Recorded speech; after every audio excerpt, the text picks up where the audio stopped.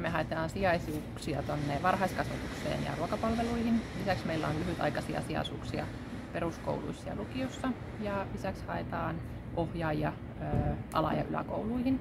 Kaikki työpaikkailmoituksethan löytyy kuntarekrystä ja sieltä työpaikkailmoituksen kautta pääsee rekisteröitymään sijaisrekisteriin jättämällä hakemuksen.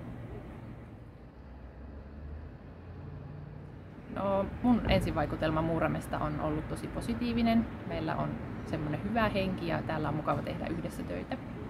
Meillä on paljon mahtavia ammattilaisia töissä.